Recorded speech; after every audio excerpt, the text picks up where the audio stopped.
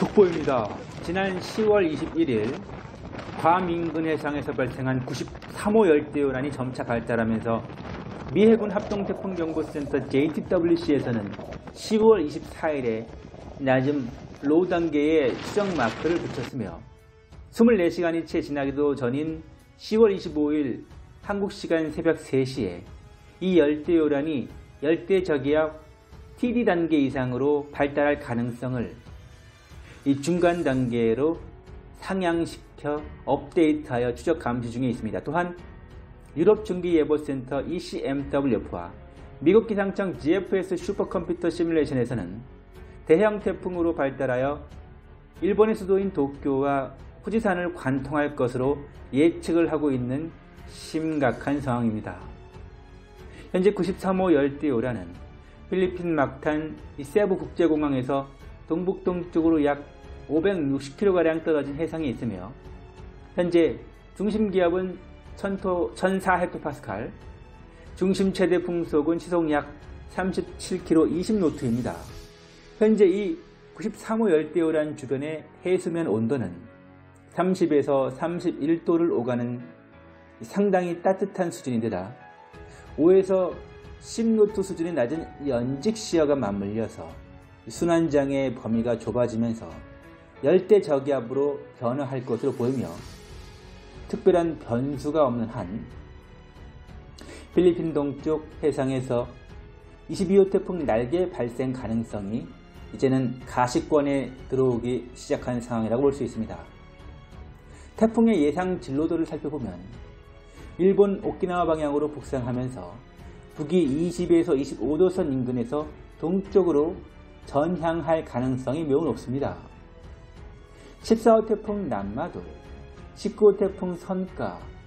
20호 태풍 네삿, 그리고 21호 태풍 하이탄까지 일본 열도를 위쪽 도쿄와 아래쪽 오키나와까지 강타하면서 일본 열도는 최악의 폭우와 홍수 사태로 정신이 없는 멘붕 상태에 빠진 상태이고 아직 태풍 피해가 수습이 다 되지도 않은 상태에서 22호 태풍 날개가 일본 도쿄를 직격하고 후지산을 관통할 것으로 예측이 되면서 일본은 개국 이래 최대의 멘붕 상태에 빠져 있습니다. 계속되는 태풍들과 화산 폭발 그리고 군발 지진이 일본 직격을 하면서 일본 열도의 집안은 그 충격파를 견디지 못할 정도가 되었고 이로 인하여 휴양 액상화 현상 즉 집안이 진흙처럼 되는 현상으로 집안이 가라앉을 수도 있다는 경고를 전문가들이 최근 계속하고 있던 상황 하에서 22호 대형 태풍 날개의 오키나와를 포함한 일본 열도 전체에 대한 물폭탄 예측은 일본인들이 또 한 번 하늘을 원망하게 만들고 있습니다. 또한 이번 22호 태풍 날개의 피해를 가장 먼저 받게 될 것으로 보이는 오키나와는 피해가 이번에도 상당할 것으로 예측이 되고 있으며 특히 오키나와의 최근 산사태나 싱크홀 등 비 피해도 많이 발생하고 있는 상황이라서 큰 우려가 되고 있습니다. 2022년 10월 25일 화요일 현재 일본 오키나와는 최, 최악의 상황을 상황 소식을 전해 듣고 있는 것입니다.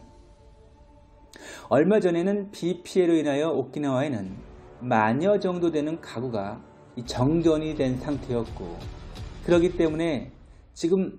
정전 피해를 복구하는데 오키나와는 만전을 기울이고 있던 상황이었습니다. 또한 일본 열도 전체에 내리는 비와 이 지진들로 인하여 이 비가 지나가고 나서 그리고 지진이 발생한 이후에 높은 쪽에서 계곡 형태로 물이 내려오면서 응력이 집중되는 곳 이런 곳에서 산사태가 발생을 할 수가 있다고 이 전문가들이 경고를, 경고를 하고 있던 찰나 이 상황에서 오늘 10월 25일 화요일 22호 태풍 날개의 일본 오키나와 그리고 도쿄 직격 예측은 일본인들에게는 그저 하늘의 기도를 하게 만들고 있습니다. 우선 오키나와에 사시는 분들은 이번 태풍이 만약에 정말 운 좋게도 필리핀 서쪽 남중국해 방향으로 이동하게 된다고 하더라도 오키나와는 강타할 것이므로 22호 태풍 날개로 인한 피해는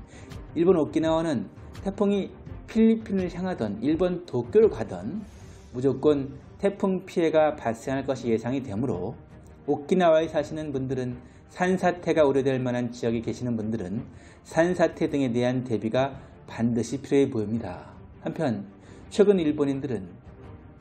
왜 일본 기상청은 한국처럼 미리미리 태풍에 대한 대비를 못하고 태풍 경로와 위력도 못 읽는다면서